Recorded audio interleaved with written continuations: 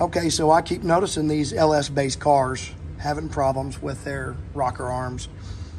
And it happens to be the ones with trunnion upgrades.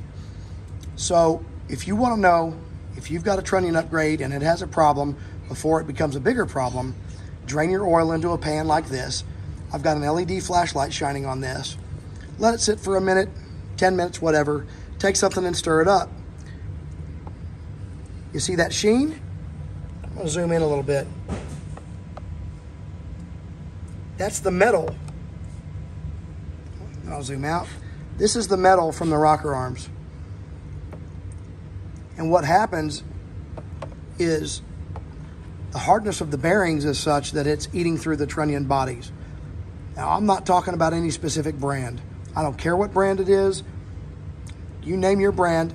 If it is a trunnion bearing upgrade, drain your oil into a pan, into a cup, anything, and look for this metallic. Now, if you don't believe that's the problem, then take your trunnion upgrade apart and look at the trunnion itself, and it will reveal these little stripes where it's breaking through the hardness or the, the surfaces of the trunnion body itself.